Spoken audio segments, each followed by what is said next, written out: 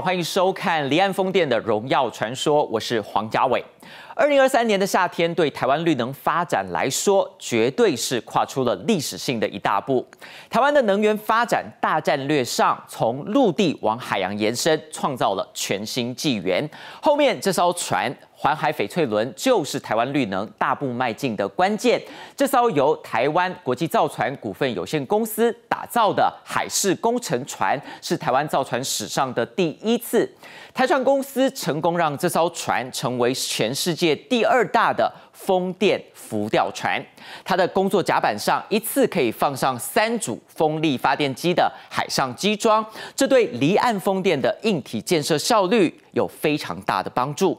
而这艘船最厉害的就是船上一百六十五公尺、将近五十五层楼高的工程吊臂，它可以吊起海军中型的军舰，可以负重大约三千辆汽车的重量。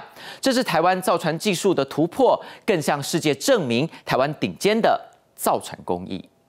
那海事工程的船非常的缺乏。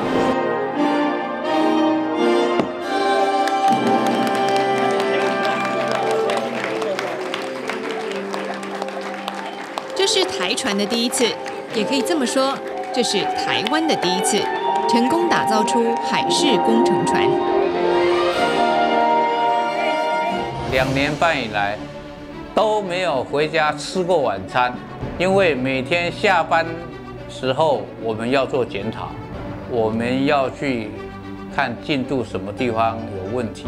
春节过年年假期间都在船上，而且年假期间也没回家吃晚餐。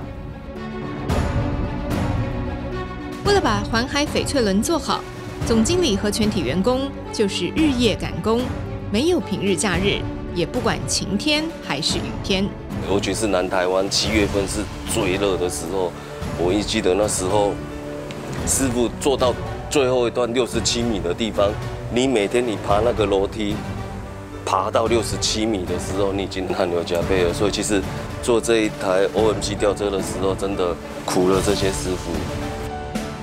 为了能源转型，为了绿能发展，台船接受国家任务。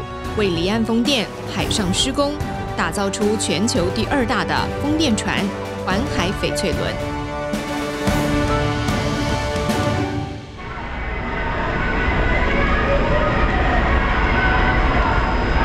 码头边聚集了三四百人，利用早上几分钟的时间，活动筋骨，打起精神，迎接忙碌紧凑的一天。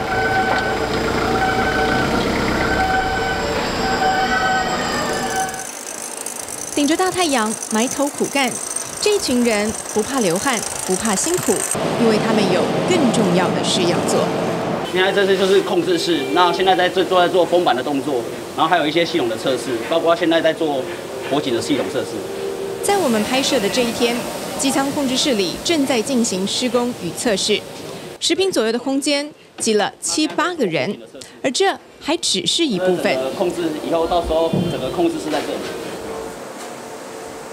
整艘船总共有将近一千人同时忙碌着，为的就是要完成台湾第一艘自制海事工程船——环海翡翠轮。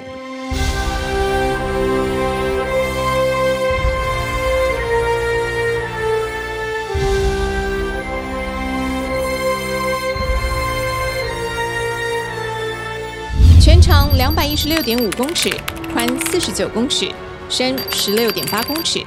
载货面积八千两百平方公尺，相当于一点三座足球场大。环海翡翠轮不仅是台湾第一艘国产浮吊船，更是全球第二大的浮吊船，肩负起国家发展离岸风电的重责大任。这里面有很多很多都是台湾第一次的，我们不只说是台船的第一次，应该讲是台湾整个造船业的第一次。我从六十二年到现在，一直都在造船，也没有离开过这家公司。我造过很所有的商船，这一艘翡翠人呢，是我这五十二年以来最复杂，而且它的工作量是最大的一艘。很多的问题都是也都是第一次遇到的，所以呃，这艘船对对我们来说也是一个新的挑战。过去台湾没有打造过海工船的经验，一切只能靠自己摸索。其中最让人伤脑筋的，就是甲板上这个庞然大物。这个吊车的话，可以提升到一百六十五公尺的高度，然后它的三百六十度的回旋，哦，所以每一个方位它都可以吊得到，不需要担心到它有盲有有盲区的位置。它的板的厚度是七十五 m m 对啊，当然七十五 m m 你电你焊工在焊的时候，而且它的品质又高。假设缺陷是在刚好在中间的位置，你真的就要哭了。为什么？因为那些焊的地方都没有用了，全部要哦用钩菌掉。是，这是台船第一次造，所以这个技术对我们来讲，这是是很很具代表性。这台主吊车是环海翡翠轮的突破之一，抓吊重量达到四千吨。除此之外，吊车上的吊钩也有玄机。哦，在后面的三有三个吊头。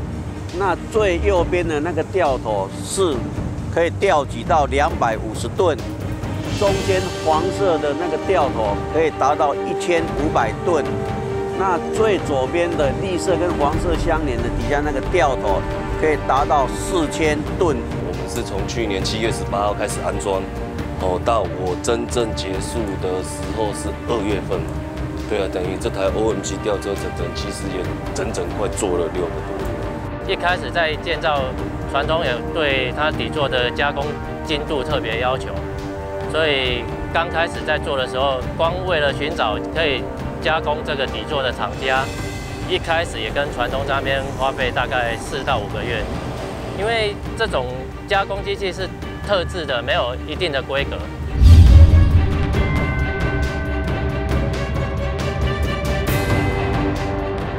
花了三年的时间。总算完成台湾造船史上最艰难、最复杂的任务。目前是我们全公司士气最高昂的时候，我们全体同仁参与的同仁都目标一致，我们也没有分假日，也没有分晚上，我们是二十四小时有轮班在在在工作。累的话，这是一定的，只是在建造的过程中，慢慢看到，哎，整个系统慢慢整个建立起来，然后慢慢完成完整了，就是让我们会有一种成就感。对啊，就是看到哦，我做了这么久，系统终于慢慢运转起来了，心里就当然会有一个想说，这是这艘船，我曾经在上面参与过它的建造，不管以后会怎样，说不定。一二十年后，小朋友看到说说这个这个船，我还很骄傲跟他讲说，这当当当初是爸爸造的。所以我有信心，那个主吊车的测试，哦，一定是没有问题的。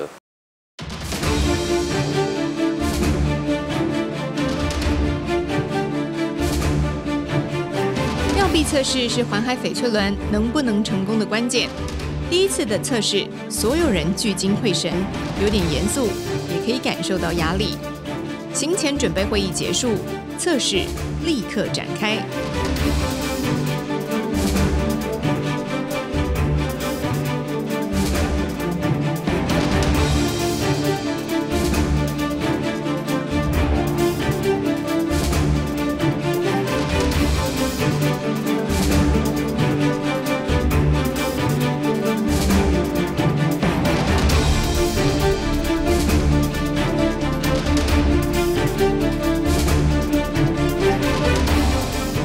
是将海上的驳船拉离水面就很花时间，接下来要测试吊车的旋转角度。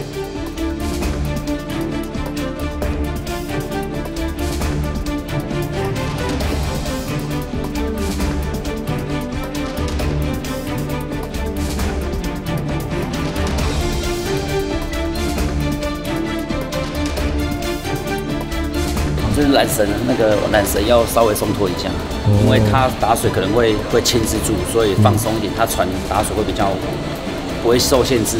它要放松缆绳嘛，然后我现在教人家去岸边把那个缆绳放松，让它让它船不要。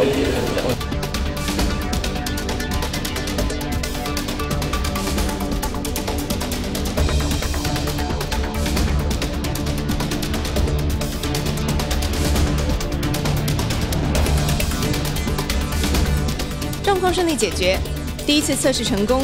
而在吊挂过程，驳船几乎没有晃动，相当平稳之外，也非常安静。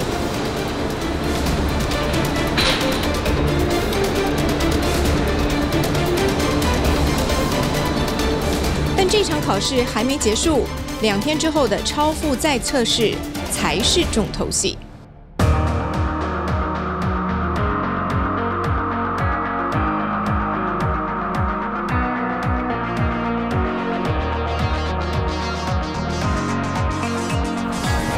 The train is uh, restricted areas, uh, not too many people can be. Also the control station on the bridge, uh, please uh, stay away there.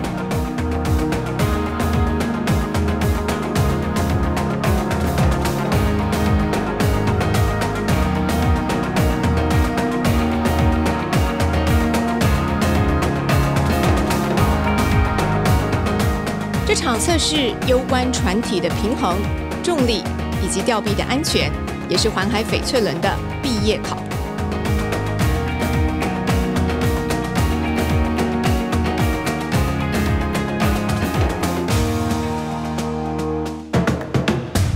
现在已经吊吊五离开甲板，也差不多应该有一米左右了，哎，所以你现在看起来看那个灯底下已经离离开甲板，所以现在是 keep 在在这里，等一下会有做一个往左旋去回转出去的一个动作，然后会再回来。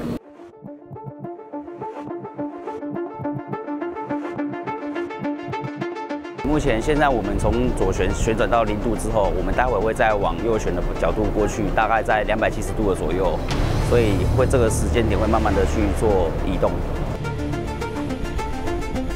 吊车缓缓移动，就在一切很顺利时，突然警报声响起。吊车旋转的速度太快，那因为吊车旋转的时候重心会偏移，船会产生弹摇。啊，但是因为水来不及，就是没有同步跟上，所以就造成了船很船身很紧的角度比较大。然后因此我们就紧急先暂停，然后让水重新调整了之后，我们再慢慢的开始。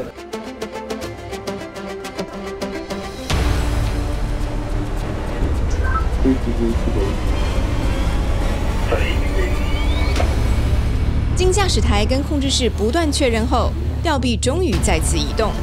这时天色也渐渐亮了起来，代表说这条这个吊坠能够吊最大值了，啊，没问题。哦，四千四百吨都已经可以吊起来，没，所以任何的荷重对它来讲就不是什么问题。经过七个小时的考验，环海翡翠轮成功过关。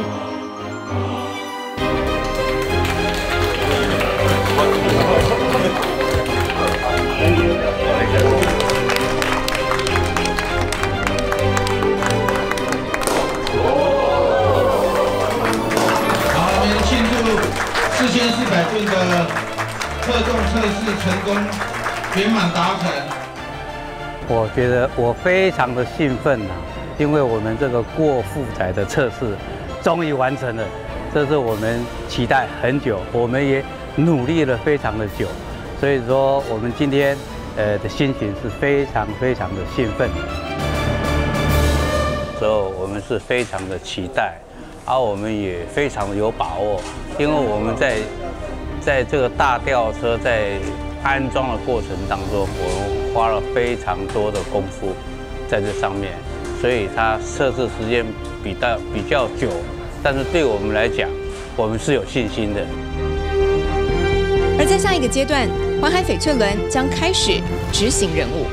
经过简单的一个整备以后啊，就要进入中能风场去做海上的水下基础的一个施工。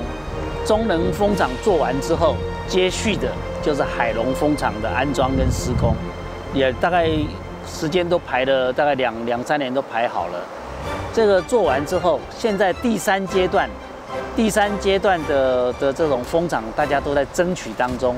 真的，我是感觉好，把它培养到长大了，做得漂漂亮亮的，然后嫁出去，让它去发展他未来的人生。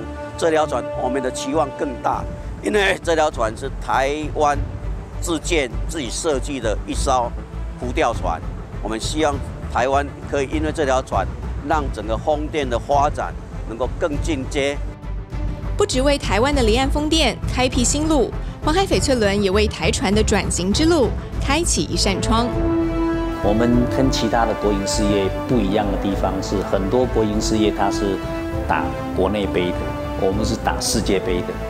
我们所有的那个业务要跟全世界所有的船厂去抢，所以我们这几年是搭配政策走向国建国造，走向离岸风电，然后希望做台船触角大一点、多角化一点的来经营，这是台船的未来。不仅是挑战，也是学习。更多的是人才培育，透过一次次经验累积，让走过半世纪的台船打造属于自己的荣耀传说。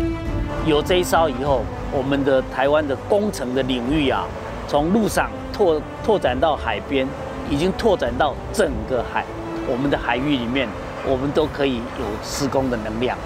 它应该是一个我们台湾工程界哈。从路上走到海上去，一个跨世代的一个新纪元。环海翡翠轮的诞生，不只是造船技术的升级与突破，也为台湾离岸风电能源转型立下耀眼的里程碑。过去台湾没有打造海事工程船的经验，不过靠着台船自己摸索，克服了各项技术困难，完成了这艘值得骄傲的环海翡翠轮。刚刚我们看到了工程吊臂的测试，大家可以发现，在测试的过程当中，不论吊臂转往哪一个方向，环海翡翠轮都没有太大的晃动，船身始终能够维持平衡。这是因为在船舱底层有非常精密的调节水舱，透过水舱调整，让船身倾斜不会超过零点二度。不止如此，它还能够透过经纬度的精准定位，让工作船在海上可以定点。施工最大偏移的容忍度只有一公尺，它是怎么办到的？接下来为大家解密。巨大船身缓缓离开高雄港，环海翡翠轮将到海上展开试车行程。这次出海要测试船舶的推进器运作、行驶速度和安全性等，共超过三十个项目。因为进行海上作业时，强劲的风浪跟海流都在挑战环海翡翠轮，其中平衡能力是重点之一。我们这条船因为有大吊车的二重要吊的问题，所以这条船的梯领啊，就是稳度对船上的非常重要，会牵涉到整个船的安全性，还有施工的效率。要如何在变动大的环境中保持稳定？关键就在左右平衡压载系统。现在因为吊臂现在在 P 边，所以现在我们的水都会压在 S 边，所以我们现在会看到说，我们有总共有六个舱，然后有呃 S 边有两个舱，它注满了水，对，就保持那个船的平衡。因为它只要超过零点二度，船的倾斜度超过零点二度，它就会自动摆平衡这样。这套系统是船只保持平衡的重要利器。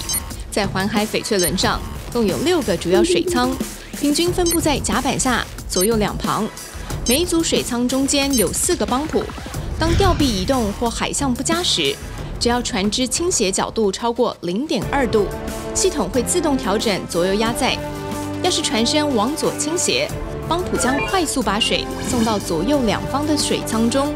借此抵消吊车回旋时产生的倾斜，稳定船舶。当船只在移动时，就可以看到数据的变化。哦，这个一左一右，一左一右的话，然后每个的话都是双向的泵浦，可以一打进打出，所以可以很快速的调整到每一个舱的一个高度跟需要的温度。那相关的资讯的话，我们就可以看到，从这个画面上就可以看得出来。这个可以摆自动，它自动会给它调整，说你要打多少水，它自动会算。不止如此，动力设计也是一大突破，因为环海翡翠轮没有船舵。这是它液压系统哦，因为我们这艘船的推进系统，它是车叶跟它的转向是一体的，哦，那车叶带动会前进，就是靠我们电动马达；那转向的话，就靠这个液压系统去做一个。转向，它还是很重要。没有它的话，等于你船永远就是直行。好啊，你要转向的话，就要靠靠这一步，等于就是它是控制控制舵舵的意思啦，舵的功能。想要移动跟转向，就得靠分布在船首船尾的八部推进器，但每一个推进器的角度都不太一样。它安装的角度跟以前我们造的船是不一样。我们以前的船是直立，是有直立式、垂直式在安装。那这艘船的推进系统它是有角度，所以说在安装过程还有加工过程，也是我们也是用了很多很多的时间哦去处理这个问题。实际到驾驶台看一看，就知道有多特别。这里面有八个推进器，全部都在这里操控。前面这两个叫手推，手推器，这两个是升降推，就是它可以可以下到外面去水下去做一个操控的。那平常没用，它可以缩到里面来，在船板里面来，哦，所以是隐藏起来的。那这后面这四个是尾推，它是一个全向式的一个三百六十度可以旋转的一个一个推进器。而且这些推进器除了控制方向，还能帮忙船只在茫茫大海中精准定位。DP 三的话，没有全世界没有几艘船有通过 DP 三的确认。它 DP 三的要求就是说，像我们这条船的设计，普适风力达到六级以下的话，我这条船能够在一米内自动的的定位在那里，不会偏偏离，不会超过一公尺。哦，所以这个这是要要靠这个很强大的这个八台的推进系统来来做个监控。DP3 海上动态定位系统的运作更是精密复杂。首先由船上七个控制站搜集水流、风速、水深等资料，接着汇整到电脑系统里自动计算，用电脑判断出移动方向，并传送到船上八部推进器，透过推进器调整角度跟推力大小。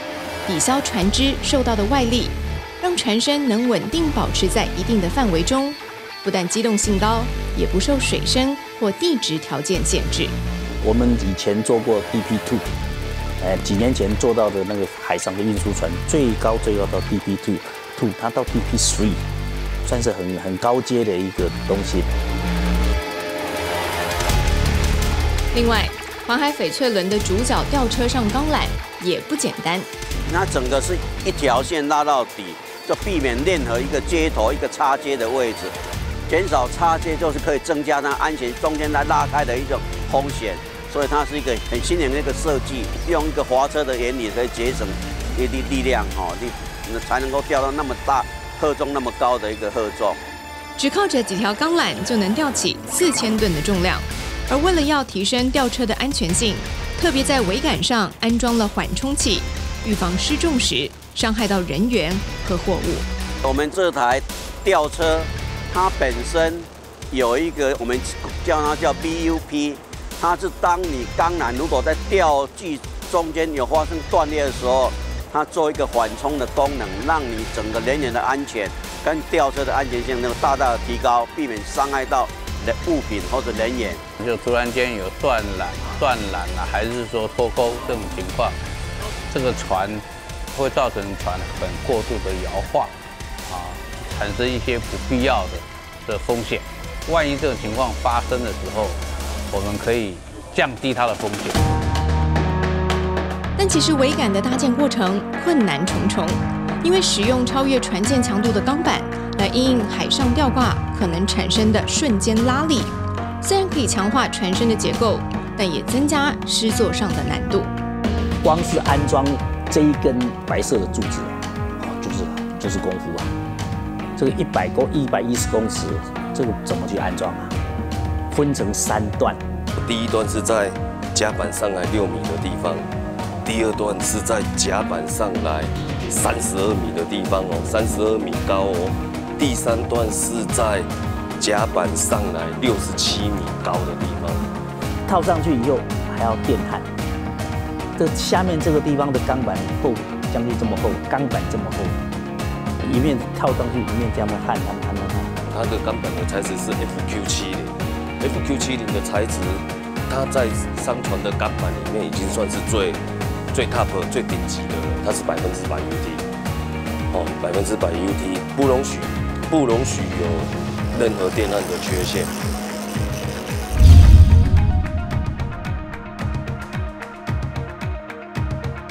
那个花了一个月做完，现场的他就说哇好厉害，你们台湾一次吧一个月就把它做出来了。我说没有做过嘛，他就慢慢摸索。花了一个月的时间摸索，才能成功打造出这一艘全台最强的海工船。台船的焊接和铁工技术无可挑剔。我们船体厂最主要的就是铁工跟电焊。当然，你一条船你要在水面上航行很长的时间，你当然你的电焊，哦，你的电焊的品质当然是要有一定的程度，哦，才能在水上航行。钢材比较厚啊，这是对品质的保证。但是对我们来讲，初次的尝试，我们都有做好完整的准备，所以这个部分当然对我们的技术上是一种挑战。对我们这个整个公司在这个方面，这是我们公司的强项，是没有多大的问题。从初步的设计规划到执行完工，每一步都走得辛苦，就像开拓者一样，勇往直前，将工程范围从陆地上带往海上，为台湾的海事工程开启另一扇窗。这离岸风电也是国家赋予我们台船公司的使命。我们知道它非常的呃困难，也非常的艰辛，但是我们还是去做。当这个这艘船交完之后，我我是莫名的感动。不断突破，创造高峰。环海翡翠轮的重要性，不只是开拓出海上工程的起点，更展现了台船经过千锤百炼。坚实且精致的造船实力与卓越工艺。跟大家分享几个环海翡翠轮的数据。这艘船上电缆的长度全长有八百公里，使用的管件数量超过了四万六千件。这些统计很惊人，因为这两组数字都比一般商船使用的数量要多出三。到四倍，正因为电缆很长，管件很多，管理起来非常需要学问。铺设的时候一定要整齐有条理，这样在未来维修的时候才不会找不到问题点。而这艘船的英文名字 Green Jade 背后的意义就是绿能，因为这艘船施工噪音不大，动力产生的废气热能，甚至还能转换成为船上的电力。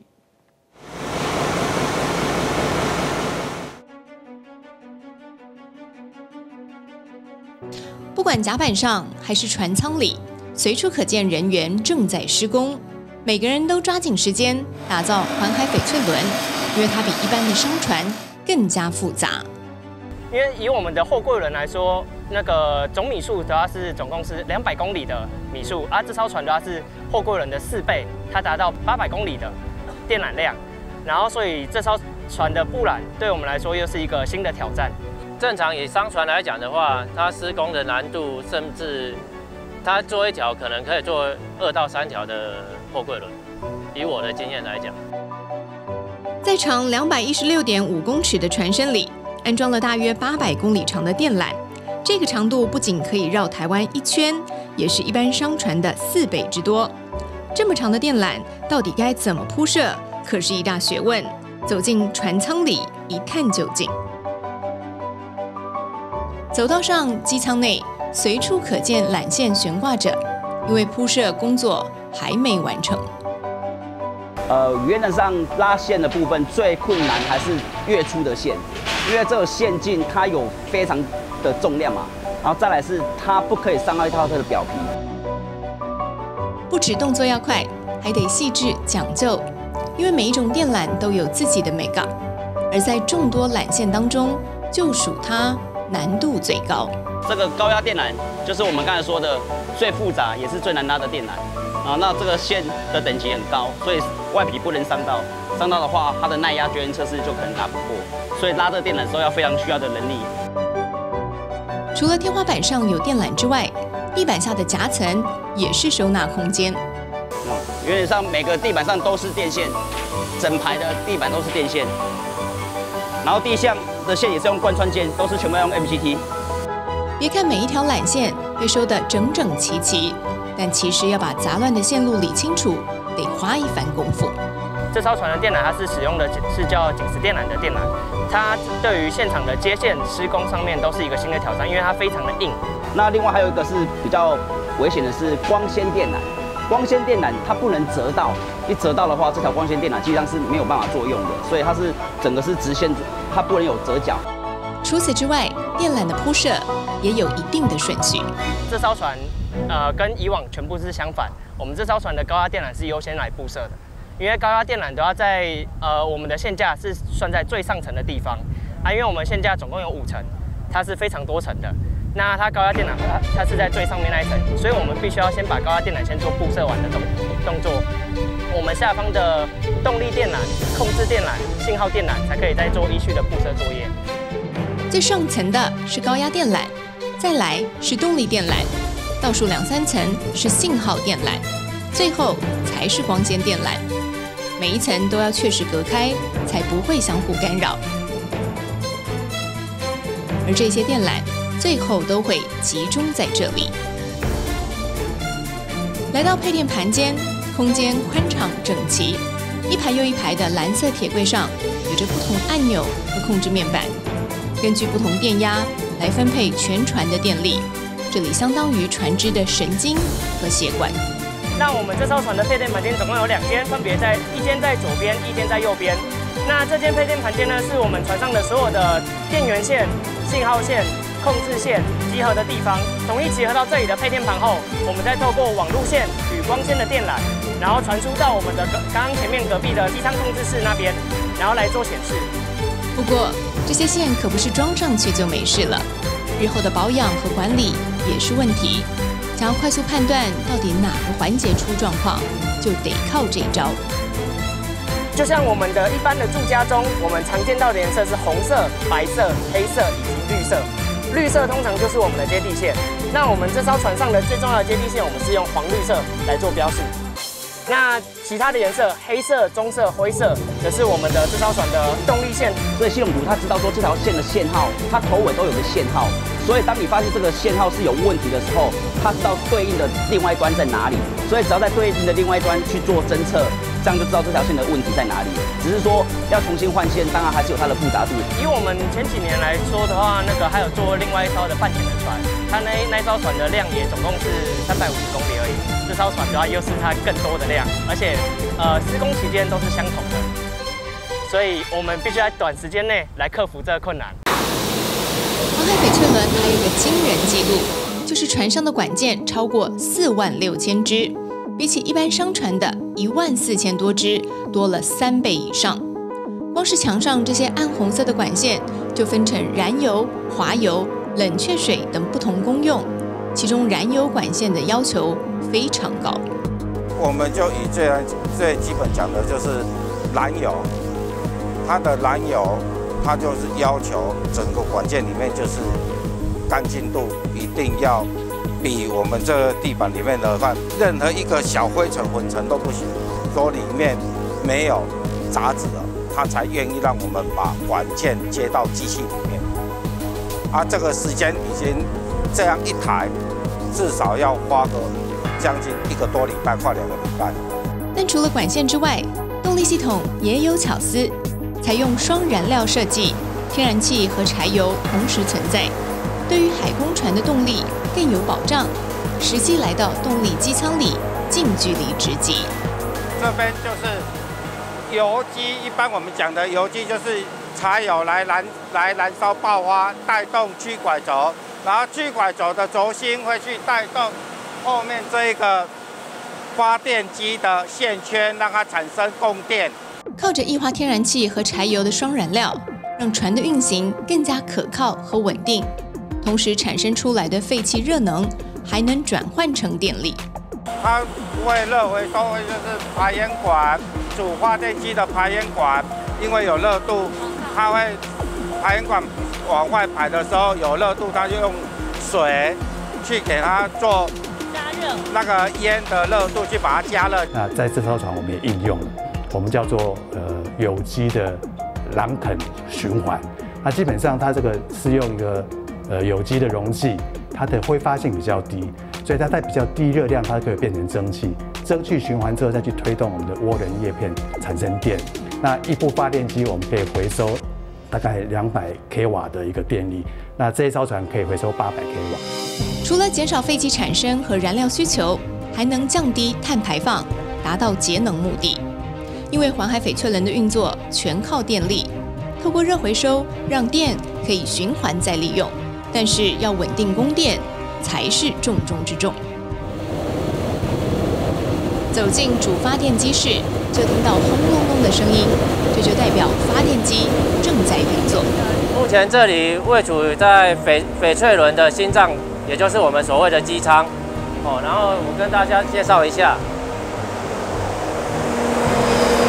目前这边是机舱的右旋，有两部主发电机。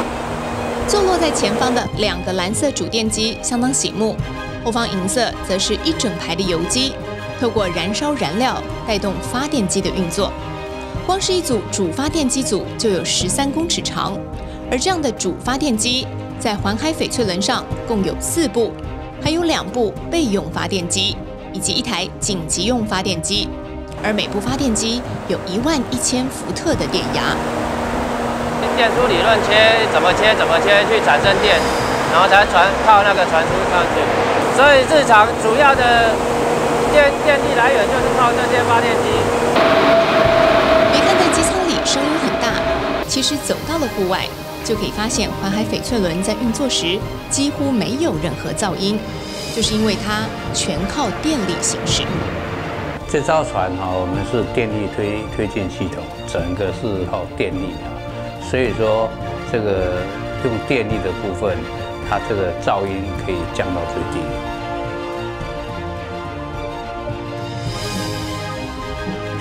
除了强大的海上施工能力之外，还兼顾环境保护，实践永续发展。台船将环保、科技和工艺完美结合，让环海翡翠轮成为迈入绿电时代的最佳领航者。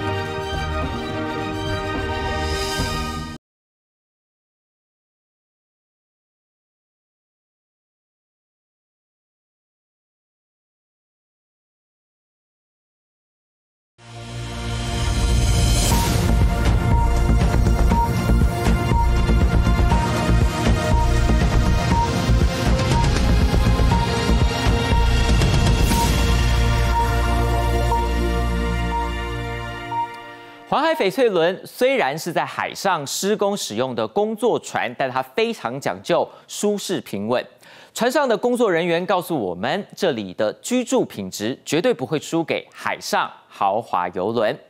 船上的住舱总共有一百零六间，每一间都是套房设计，让在船上工作的伙伴回到寝室后能享有不被打扰的独立空间。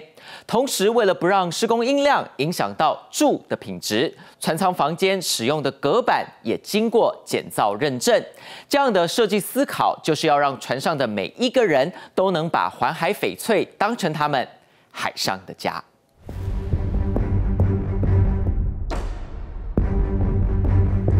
巨大的白色建筑耸立在船首，别看它好像没什么，进到里头可是别有洞天。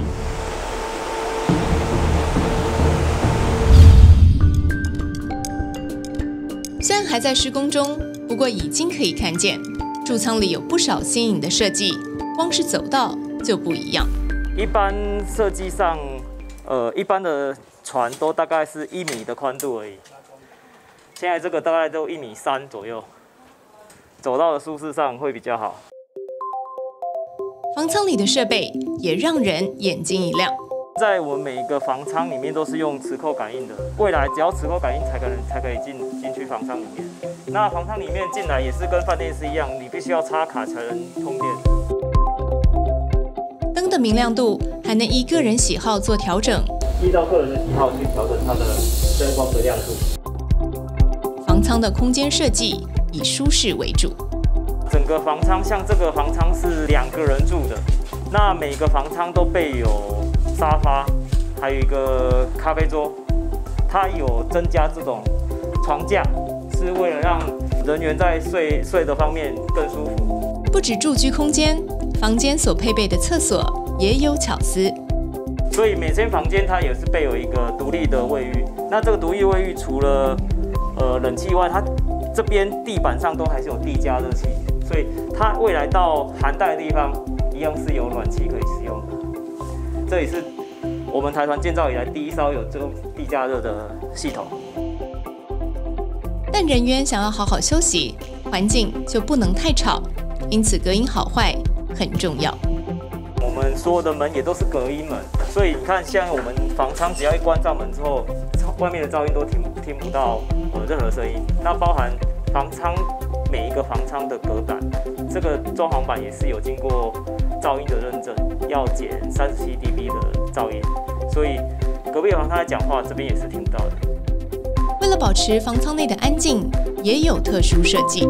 黄海特人对于噪音啊、震动方面要求非常严格，所以这一招也是我们第一次所有的装潢板没有跟铁板地做任何的固定连接，它只有跟呃天花板做连接而已。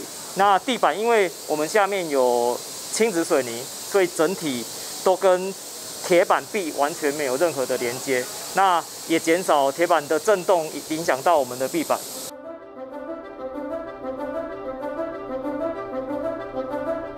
虽然是海事工作船，但对于人员生活区域规划一点也不马虎。环海翡翠轮的驻舱空间总共有一千八百平，一百零六间的房间可以容纳一百六十个人，这样的规模已经等同于中型饭店的等级。环海翡翠轮最多可以容纳一百六十人，即便如此，也不显得局促，就是因为空间规划得宜。而不同于一般的海上作业环境，环海翡翠轮还有专属的休闲娱乐空间。环海翡翠轮在设计上有一个非常特殊的规范，就是来到生活区，所有工作人员都要脱掉身上执勤穿的工作服。同时，为了让大家有家的舒适感，在生活区里头还有健身房跟三温暖等等的设施，注重人性化设计，打造出舒适环境。身为台湾顶尖造船工业的结晶，每一项设计都是造船工艺新指标。虽然整体工程才刚完成不久，但是眼光已经放很远。我们完成了这造船的建造，并代表着我们造船的技术不仅可以跟国际上并驾齐驱，甚至我们是超越他们。而在交船后，黄海翡翠轮将立刻投入离岸风电工程，为台湾海事工程绿能发展奠定强力的基础。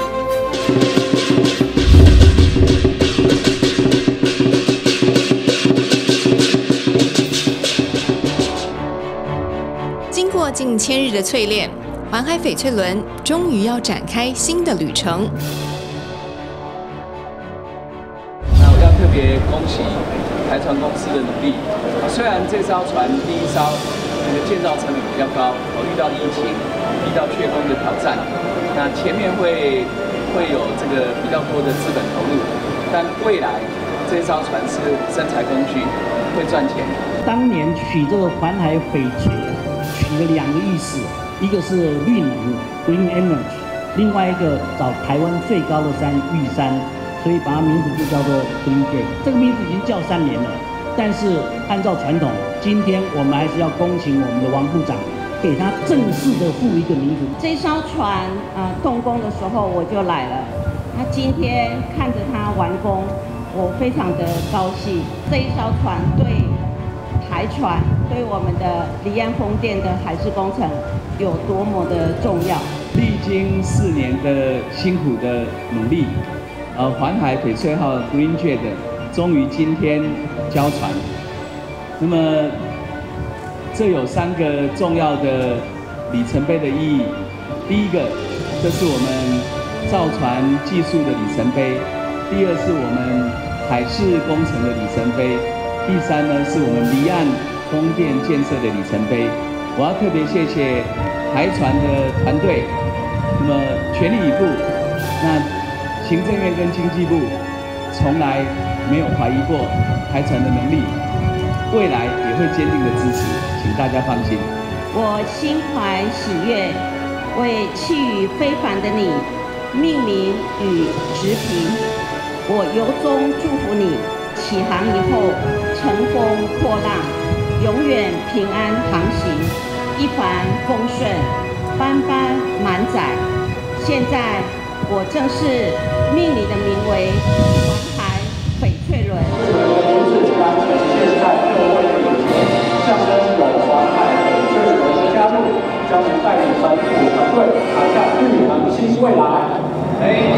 命名完之后，就要进行重头戏——直平祈福仪式。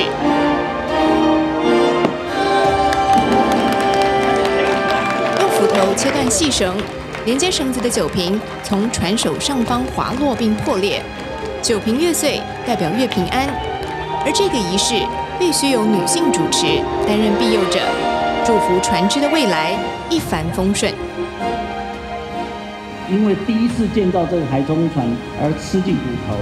好在台船工的工程人员有特别一个特质，非常的坚毅，他们发挥了无比坚韧的智慧和毅力，终于把这一艘台船自建厂以来造价最高、工项最多、技术难度最高的施工规范最特别的船，终于完成。我要以台船环海跟台船公司双重董事长的身份。由衷的感谢台船的魏正式总经理所率领的台船施工团队，面对所有的管理面和技术面的困难和挑战，带领台船员工一一克服，才有今天的一个结果。我们今天很高兴看到这艘船的完成，那让我们的呃离岸风电的进度会越来越加速跟顺利。那在这边特别祝福台船。祝福我们这艘船可以顺利来执行。我相信哦，它会是我们这个台湾的光荣跟骄傲，在我们近邻能源转型的过程当中，扮演了一个非常重要的角色。再一次谢谢大家。台船在不在？在。这一艘全台最强海工船，肩负国家使命与众人期待，航向能源转型的新里程，从陆上走到海上，台船完成挑战。为迈向海洋国家的目标，打造出耀眼舞台，展现台湾的无限可能。